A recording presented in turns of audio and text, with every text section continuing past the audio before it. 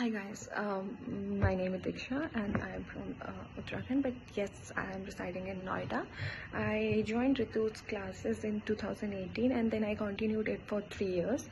Uh, in uh, for three years I felt like my thyroid level when I joined my th thyroid level was 22 but it came down to 4 which was a drastic change for me and uh, being a thyroid person I saw a lot of changes on my and my body and personal and mental level and then again i took a break for one year because of my personal reason. I, I gained 10 kg of weight. But yes in last november 2022 i rejoined uh, ritu's classes because i can't find any better classes than ritu's and yes i can see that how she treat each and everyone in the classes. She, she give personal attention.